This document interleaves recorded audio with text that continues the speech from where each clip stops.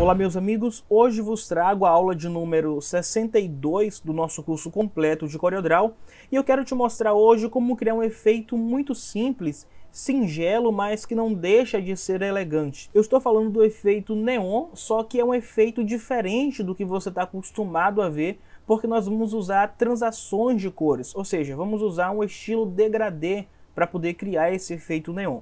Então vou pegar aqui a minha ferramenta de texto e vou digitar aqui a palavra Effect. Depois disso eu vou pegar essa palavra, né, com ela selecionada, vou clicar com o botão direito aqui na cor preta e com o botão principal do mouse eu vou clicar no X para poder remover o preenchimento e ficar apenas com esse contorno. Fica esse texto vazado aqui. Agora com esse texto selecionado, eu vou clicar e segurar aqui nessa caneta de contorno e vou colocar o contorno com 0,75 milímetros para poder ficar um pouquinho mais grosso. Bom, com esse contorno selecionado, eu vou usar o atalho Ctrl Shift Q para converter esse contorno em um objeto. Isso é extremamente necessário para que a gente consiga aplicar o efeito que a gente quer aqui. Depois disso, eu vou clicar e segurar na ferramenta de sombreamento e vou selecionar a ferramenta de contorno. Vou selecionar esse texto e vou clicar e arrastar para fora até criar esse contorno externo aqui. Nessa espessura mais ou menos, eu solto. E aí ele cria esse contorno para a gente. Tudo que eu tenho que fazer agora é separar esse contorno desse texto fino aqui do centro. Para isso eu uso o atalho Ctrl K. E agora eu tenho esse objeto e esse outro aqui atrás, beleza? Bom, esse eu vou posicionar aqui embaixo e a gente vai começar a trabalhar nesse aqui agora. Agora eu vou pegar a ferramenta de gradiente, você pode apertar a letra G no seu teclado, que automaticamente você já seleciona a ferramenta gradiente. Vou clicar de um lado a outro desse texto e aqui na ponta eu vou começar a adicionar algumas cores. Nessa aqui eu vou dar o tom de azul, por exemplo. Vou dar dois cliques nessa linha aqui ó, para poder criar mais uma caixa de cor.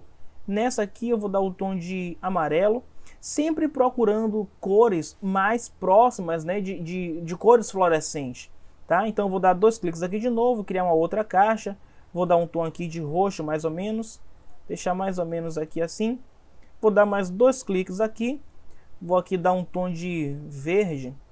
Não, verde não ficou muito legal aqui não. Deixa eu ver aqui um tom de uh, roxo.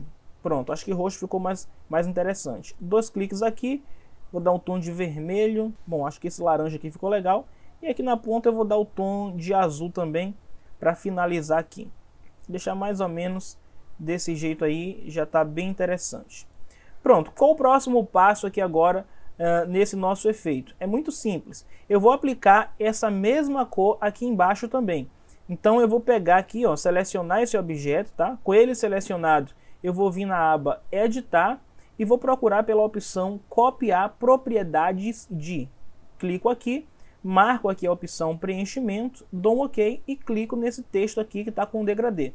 Pronto, nesse momento ele faz o mesmo estilo de degradê aqui no objeto aqui de baixo, no texto aqui de baixo. Esse aqui de cima mais grosso, eu vou vir aqui na aba bitmap, converter em bitmap Vou mudar o modo de cor para RGB 24 bits e vou dar um OK. Vou retornar aqui na aba Bitmap. Dessa vez vou procurar pela opção de desfocar e desfocagem gaussiana. E vou aplicar uma desfocagem. Nesse caso aqui o raio está muito, eu vou diminuir um pouco mais, deixar um pouquinho menos embaçado. Acho que com 10 aqui, por enquanto, está legal. Vou dar um OK.